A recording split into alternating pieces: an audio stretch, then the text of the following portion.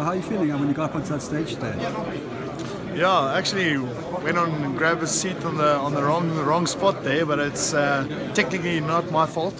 Um, we actually had a walk through in the hotel, and I had to sit next to Flo, and then two seats open, and then Beast had to go sit down, and then yeah, kind of looked like an idiot, but uh, all fun and games, and yeah, it's fantastic to see the see the support out there, and uh, you know all the people cheering and uh, yeah, rallying behind the Boks. It's been a different journey for you uh, from last World Cup to now. I mean, was there ever a time that you doubted you made it?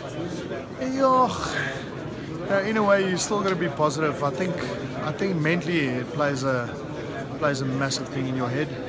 Um, you, you always want want to be a part of the Boks and always want to stay a part of the Boks, but you know sometimes it it just doesn't work out that way. But um, yeah, I think in the end, I'm uh, I'm pretty happy, very stoked um, to be a part of this squad. It's a, it's a fantastic group of guys, and uh, you know we've got a good good coaching staff, and uh, I think everyone works well together. So yeah, very happy to be a part of this, and uh, looking forward to see what we what we can achieve. Just a word on how the team has grown over the past 18 months or so, uh, being a part of that, the areas where they haven't improved. Yeah, there's there's been errors, and uh, I think in a way, Rassie Rassie always said, listen, there might be some bumps in the road, but you know we, we have to we have to see the bigger picture. And I think for us, in a way, we we prepped for that, and you know, back in your mind, you know. You, you want to work towards towards a World Cup because in the end that's that's the ultimate. Um, I think we had a we had a few bumps in the road, had a couple of tough games and, and narrow losses in uh, in some games, but uh, also in a way that kind of built the character of the younger guys and guys who, who started their journey maybe 18 months ago. So um, to see those guys, you know, growing and growing into the into the guys and men they are now, it's uh, it's fantastic to see, and it's also fantastic to be a, to be a part of that. And uh, you know, in a way, you helped out a bit, maybe maybe mentally, or just you know have a have a calmer approach to the game, and uh, you know get that first game jitters, or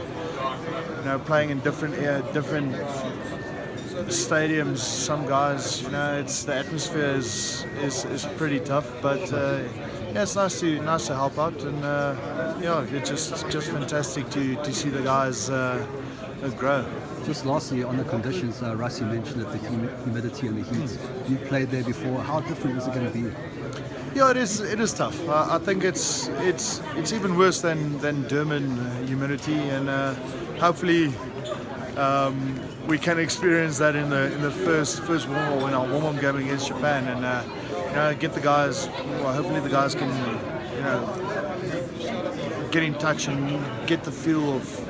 Of the humidity pretty quick because it's it's going to be a, a, a difficult game just you know just a warm up as a warm up game, but you don't want to go into a World Cup with with a loss. So I think um, you know after that, hopefully we we have we've prepped well, um, and you know we we're good we're good to go. So it is tough, it is difficult, but um, yeah, everyone's everyone's kind of played in, in somewhat humidity, but uh, we'll we'll have to find out.